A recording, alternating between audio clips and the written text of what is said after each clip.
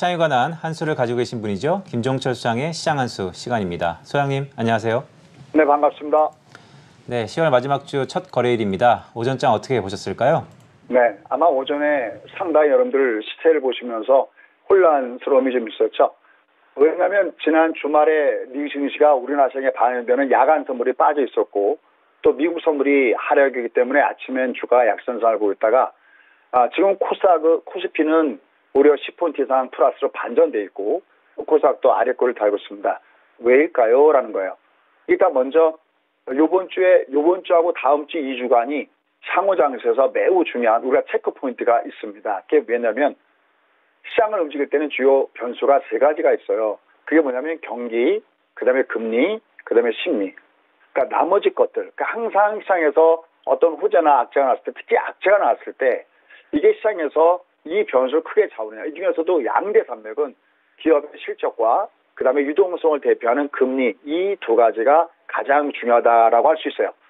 근데 지금 최근에 여러분께 말씀을 때 두 가지가 국내 시장이 내려가도 다행이다라고 했는데 하나는 M 파동이 있어야 된다. 아, 여러분들 이 M 파동은 아, 제가 그래프를 보여드릴 때 뭘 보여드렸냐면 아, 이 바로 비트코인이죠. 그래프 잠깐 보실까요? 자, 이 비트코인 그래프인데요. 이 M 파동은 이, 여기 보면 녹색선 60선이거든요. 이 녹색선이 돌아가는 파동이에요. 다만 이 녹색선이 돌아가는 파동이 되려고 그러면 어떻게 되냐면 지금의 주가하고 3개월 주가를 비교해 봤을 때 벅차가 굉장히 크면 올라갈 때마다 매물이 있어요. 그러니까 계속 지금도 올라갈 때마다 매물이 있죠.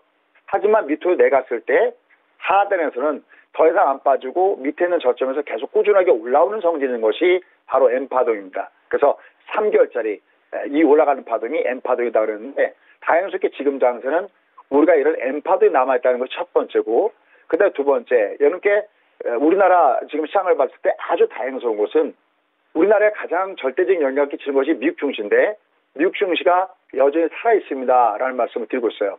그래서 미국 증시가 지난달에 주가가 하락 추종을 받았다가 아, 보시면은 다시 주가가 위로 올라가는 것을 아마 보실 수 있을 겁니다. 특히 마틴 공항에서 얘가 올라왔습니다. 근데 2주 동안 가장 중요한 게 뭐냐 그러면 여기 보면은 경기에 대한 부분들은 코로나19 사건 때문에 나쁘다 하더라도 바로 유동성과 양적 완화를 중심해서 주가 올라갔던 부분이 있었죠. 그럼 이제 이번 주에 지금 현재 발표되는 84%가 실제 굉장히 좋게 나오는데 이 이번 주에 애플, 그다음에 구글, 마소, 텍사스 인스트루먼트 이 기업 실적이 일단 무조건 좋고 봐야 되는 거고요.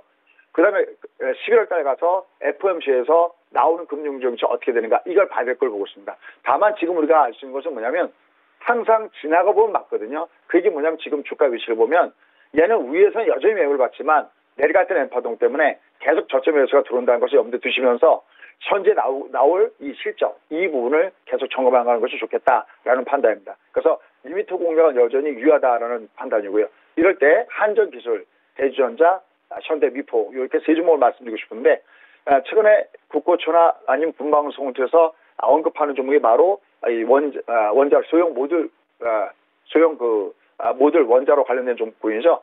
특히 유럽에서 이번에 풍력 문제 때문에 굉장히 크게 문제가 발생했고요.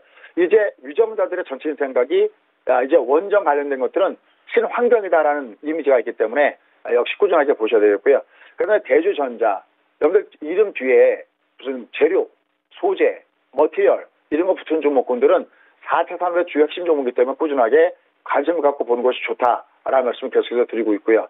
아, 차세제 아, 이 우리가 얘기하는 전고체 전지 여기에 관련된 그런 재료들도 역시 같이 갖고 있다는 점에서 계속 주목하셔야 되고요. 그다음에 이거 하나는 뭐냐면 워낙 많이 빠진 상태 속에서 이 조선 쪽이 3분기의 실적들이 비교적 긍정적으로 나오고 있습니다. 근데 이렇게 올라갈 때 보면 지금 딱 240을 뜨고 있는데요. 역별 관계에서 우선 두드려 맞습니다. 그래서 이것도 명단을 확보하고 계셨다가 미팅 할 때 저점에서 보시면 좋을 것 같습니다. 결론. 지금 현장은 여전히 다, 요번 주와 다음 주까지 금융과 가장 큰 이 실적이 둘이 점에서 혼자 항상 보일 겁니다. 다만 이것이 엠파동의 구간에 놓여져 있기 때문에 떠야 된다는 절고 있기 때문에 내려갈 때 리미트 공략은 여전히 유효하다는 것을 염두에 두시고 아, 밑에서는 꾸준하게 재료 중심에서 공략해 보시면 좋을 것 같습니다. 고맙습니다.